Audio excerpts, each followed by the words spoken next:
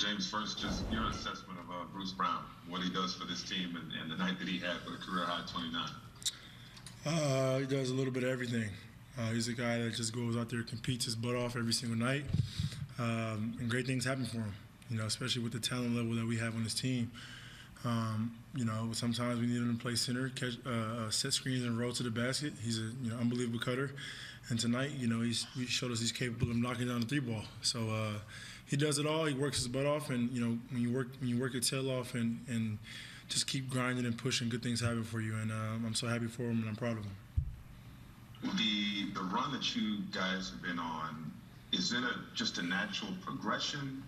Was it the Pistons game? Was there a conversation that sparked the increased intensity?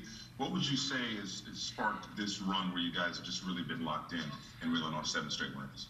Uh, might have been that Pistons, Pistons game. Uh, might I mean, it's not the one one thing particular. It might have just been like we're tired of losing and let's let's let's start winning.